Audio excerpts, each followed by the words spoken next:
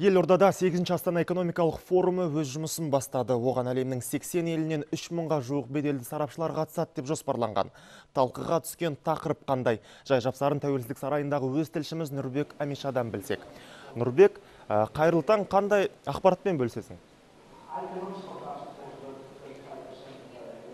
Талғат э, қайырлы таң уақыттың ерте екеніне қарамастан мұнда бірнеше дөңгелек үстел басталып та үлгерді.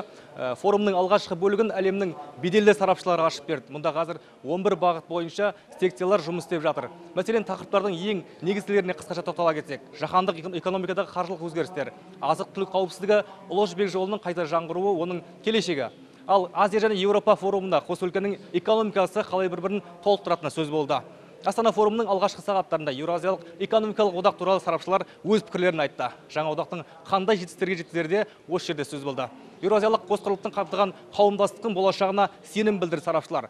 Тәуелсіздік сарайының кіреберісінде арнайы көрмелерге де орын. Орын беріліпті.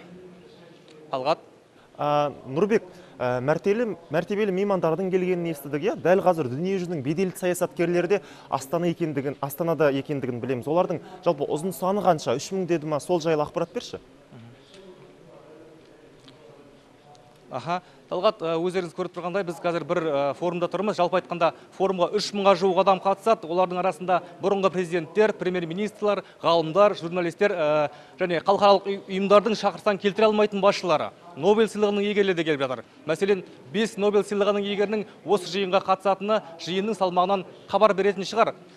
Бұлардың бір шамасы қазір тәуелсіздік сарайына келіп жатыр, өздеріңіз көріп тұрғандай. Және жалпы 8-ші форум тақырыбы инфрақұрылым экономиканың тұрақты өсіру драйвер деп аталады. Естеріңізге салам, форум енді ғана басталды. Біз ә, және біздің әріптестеріміз оның барысы туралы тікелей қосылым режимінде айтып отыратын боламыз. Ә, естеріңізге тағы да салып кетейін, сағат 11-де әріптесім Гүлнар Жандағұлова тікелей эфирге қосылады. Ә, құнды ақпараттардан қалыс қалмаңыздар. Талғат.